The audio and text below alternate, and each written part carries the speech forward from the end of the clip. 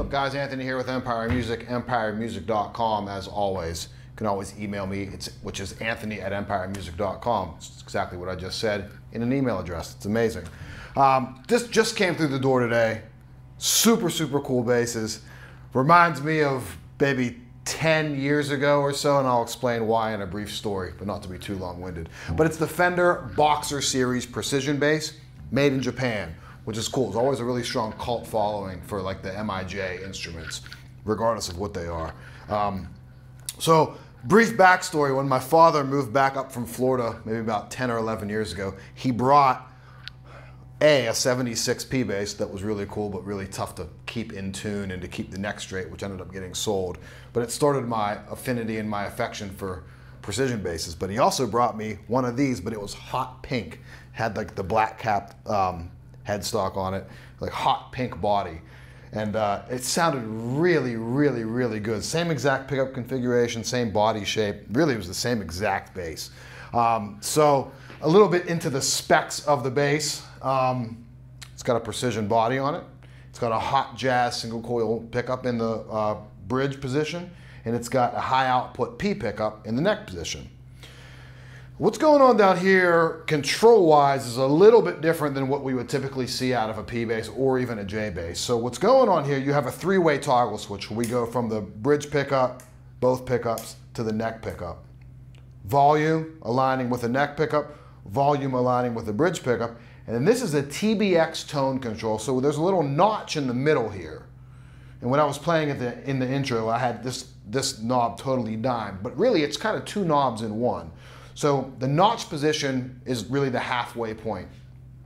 So let's say from zero to five, it functions like a typical tone knob. So we go from like that muddied, sort of very muffled sound up to like your typical bright sort of, uh, you know, you have like good representation of high end and low end in it, like typical like a tone knob on 100. Now after that notch position at five, we engage the TBX control, which is like a uh, kind of like they call it like a tone expander. So what ends up happening is you sort of start to scoop out the frequency spectrum and we are accentuating the highs, we're accentuating the lows, and we're scooping out the mids. So it can kind of get, um, it almost kind of sounds like an active bass, even though it's not. There's no battery or anything in it. So that's kind of what happens with the tone control. What I also kind of experienced here, and I'll show you when I start playing it. In fact, we'll, we'll save that, not to be too long-winded at the top here, which I'm really good at doing. Uh, 12, 12 inch radius on the fretboard, so it's flatter than we typically see with Fender basses. Um, I think maybe except in the Ultra, which goes up to a 12. Um, so that's a little bit flatter than we see. So typically we see a nine and a half or a seven and a quarter in a, in a vintage instrument. This is 12, so a very modern feel. It's a medium C neck, so it's not thin, it's not chunky. It, it, really feels sort of like a straight C to me, but they call it a medium C. Obviously, you see the black hardware. What's cool too is on the on the back on the neck plate here, it says "Made in Japan" uh, with like kind of the, the the white etching on the black on the black. Really cool.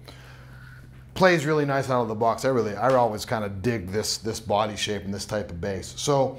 Um, what I was playing in the intro was everything wide open, the TBX on 10, um, and both pickups wide open. So we're gonna show you kind of where I would play that. It was a little bit too bright for my taste. So I'm gonna roll that back. TBX is not engaged. I'm gonna take the tone back where I would typically have it, which would be trying to get around 70 to 75%. Both pickups wide open, like I said, P and J.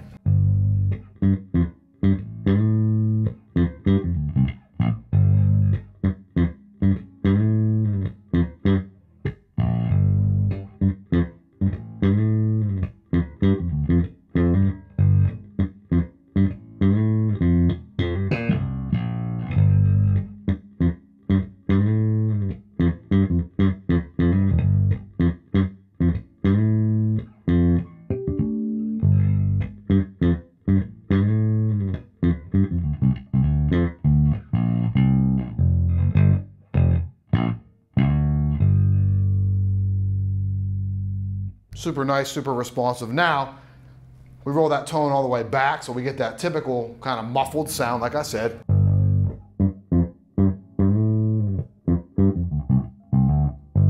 Not super usable, but really never is. No one's really playing that way. maybe some of you are out there, drop me a line. Let me know if you play with your bass, the tone all the way off. We can debate that. I don't think it's very usable though. And now we start to engage the TBX. So TBX kind of on one, you're gonna start to feel those mids get scooped out.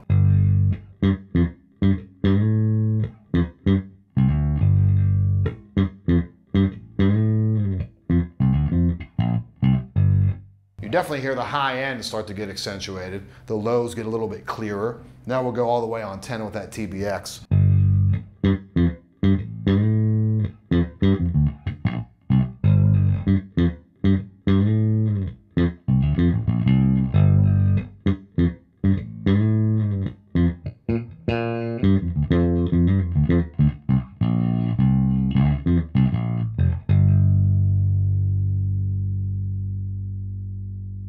Reference again, with no TBX, with TBX. Cool, there's definitely a difference there. It adds one more tone we can pull. So that's pickups wide open.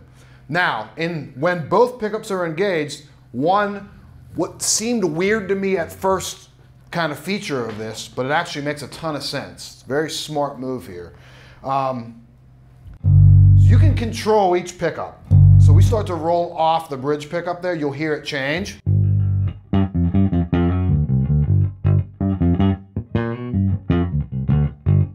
Really, you're hearing just that front pickup.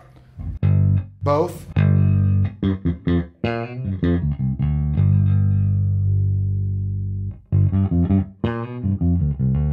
But check it out. When either one of these volume knobs is dropped to zero, it cuts the entire signal.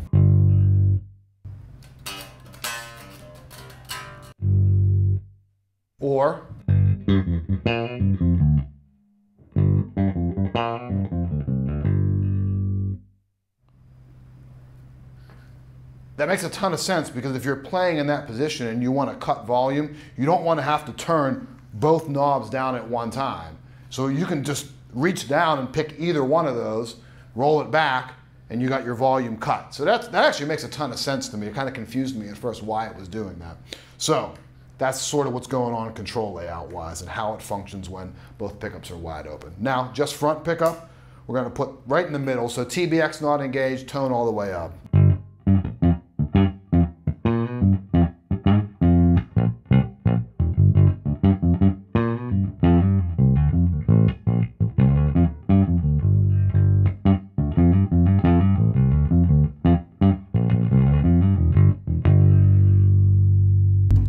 TBX.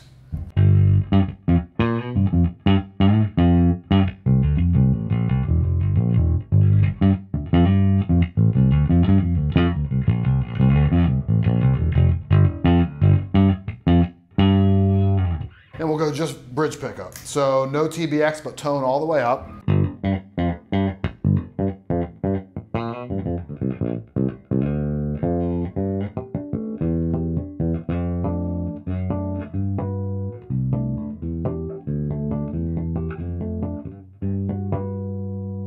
Take the TBX on.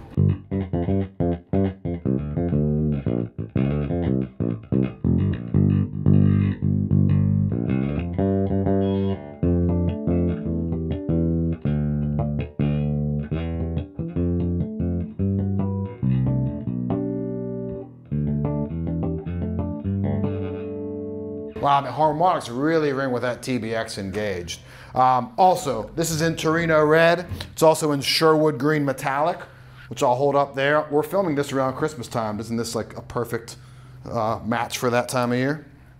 So, super cool basses. We just got them in. They're brand new. Give me a call at the shop, 412-343-5299. Email me directly. It's anthony at empiremusic.com. Check out the website. Share it around social media. Subscribe, follow, do all that fun stuff that the kids do and we'll see you next time. Thank you much.